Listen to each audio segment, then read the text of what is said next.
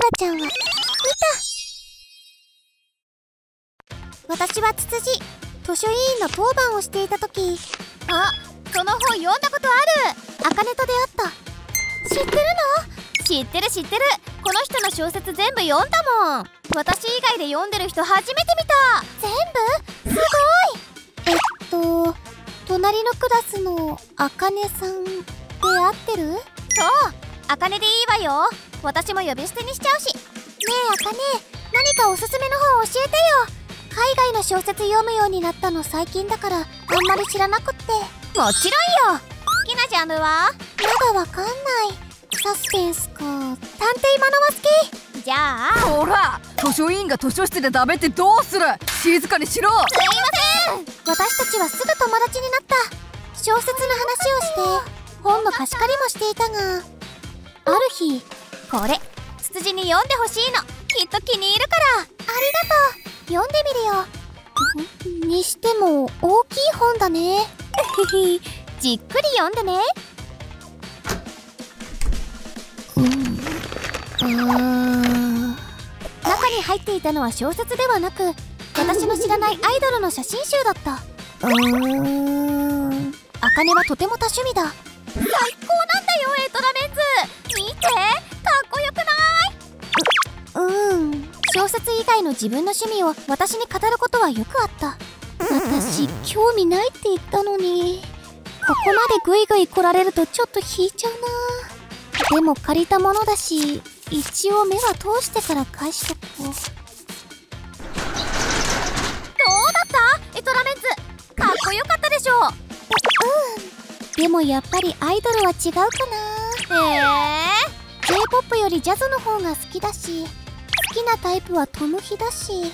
そっか残念。なら。ライブ DVD 今度一緒に見よっか。え？私興味ないって。ライブ浴びれば変わるって。じゃあ今度の日曜日。とにかく茜は強引だった。また困ったことに。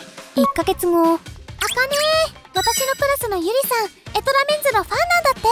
話合うんじゃない？これで私の負担も減るかもエトラメンズ？まだあんなの好きなの？ブサイクばっかだし歌も下手だし。はあなんであんなの好きだったんだろう私。ええー、いわゆる熱しやすく冷めやすいというやつで振り回されるのはいつも私。そんなことよりさツツジ。私今カバディにハマってて動画見てすっごいから。そして茜があれにハマりだしたのは学年が上がって同じクラスになった頃。ねえツツジ。ツツジって不女子？うん。不女子？違う。そんなベタなごまかししなくていいよ。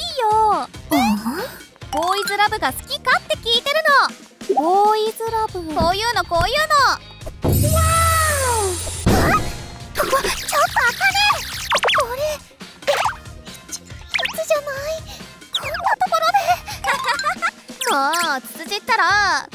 の恋愛小説。ただのってことないでしょ。しかも男の人同士だったし。だから BL って言うんじゃん。はあ。いいよ BL それから茜は BL がどれだけ素晴らしいかを語った。大声で大量の資料とともに。静かなカフェのど真ん中の席で。あの1時間は今まで生きた中で一番長く感じた1時間だった。周りの客がこちらを見て何かを話していても私が相づちの一つも打たなくても茜の口は回り続けた。あの日以降会話の8割は茜の BL 語りになった。彼女の趣味の話が会話のほとんどを占めるのはいつものことだがそのいつものノリで所構わず BL の話を振られるのはきつい。正直もう茜の顔すら見たくなかった。しかしクラスは一緒で話しかけてくるのはいつも茜断ることが苦手な私はどうすればいいのか分からず。私はある友人に相談した。ふーん。なるほどね。普通にやめればいいじゃない。友達。そう簡単に言わないでよ。なんでよ。簡単じゃない。嫌われればいいのよ。ええー、あざみは私の幼なじみ優柔不断で引っ込み思案な私と違い。しっかり者で頼りになる。すごく頭悪そうねその子なんでそんなことつるんでるの？口口は悪いがあれ？ツツジあかね奇遇じゃん。何してんの？あかねこの子が例のあなたの話をしてたのよ。ねえあかねさん。今時間ある？よかったらあなたも一緒にお茶しない？ちょちょちょ。ちょいいわよ。暇してたし。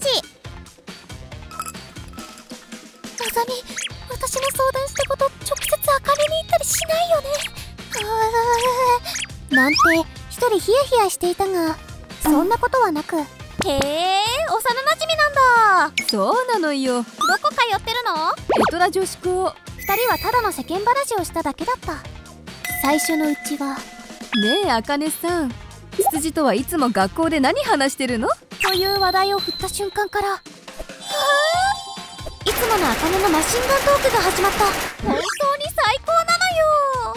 今熱いのは傲慢攻めってジャンルで。うんうん。かっこいいしあの絡みは本うんうんあざみはたまに相づちを打ちながらいたたまれずおろおろしている私と違い顔色一つ変えずあかねの話を聞いていた。はあ本当に癒しよね。うんうん。でで私は羊といつも何話してるの？って聞いたんだけど。だから。あなたさっきから自分の話しかしてないじゃない羊の好きなものわかる？え？読書？他には？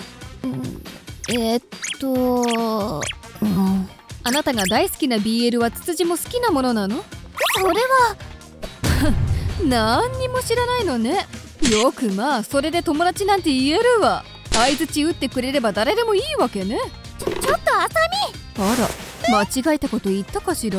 みそれは。ごめん。帰る。あとあさみあれ言い過何よ。私は事実を言っただけよ。これで気まずくなってあなたと会わなくなるんじゃない？ぎだからって。それに一般人に。公共の場であんな大声で無理やり吹きをするなんて。マナー違反もマナー違反。あんなのがいるから界隈全体が勘違いされたりして。なんか言った？あさみいいえ何も。あなたには関係ないことよあさみの言った通り次の日からあかねは話しかけてこなくなった。目があっても気まずそうに目をそらす。次に会話をしたのはあの日から1週間が過ぎた頃。ねえお昼一緒に食べない？話しかけたのは私からだった。ごめん。私さ昔から空気読めない。周りが見えてないってよく言われて。友達も仲良くなってもすぐ離れるしでも自分じゃよく分かんなかったんだ。私は一緒にいて楽しいと思ってるのになんでだろうって。自分の話しかしてないじゃない。羊の好きなものわかる？自分の好きなものはたくさん話してたのに。私ツツジの好きなもの全然知らなくて。覚えてなくって。よくまあそれで友達だなんて。急にすっごく恥ずかしくなった。そりゃ一緒にいて楽しいわけないよね。ごめんねまあそうだね。正直きつかった。でも嫌いだったら私からご飯なんて誘わないよ。BL の話は特に私わからないしかなり聞いてるの恥ずかしかったからもう一緒にいるのも嫌だなんて思ったこともあるけど私は茜が生き生きして好きなこと話してるの見るのは好きだし教えてもらってよかったこともたくさんある。だからこれからも話聞かせてよ。茜と同じくらい。私も私の話をあなたにするから。たくさん知ってね。私のこと。う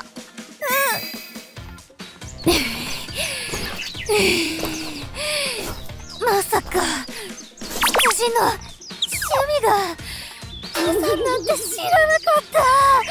今まで言ってなかったもんまさか一緒に来てくれるとは思わなかったけど。だって今まで私の趣味に散々付き合わせてたし今度は私の番。じゃあ次どの山に付き合ってもらおっかな。次嫌よもう二度と行かないわ父さんなんて。っていうかもう限界降りる山降りる。私に登山なんて向いてないわ。まあまあ頂上着いたら絶対考え変わるって。はい頑張ろう。いや私たちなんだかんだ仲良くやっていけそうです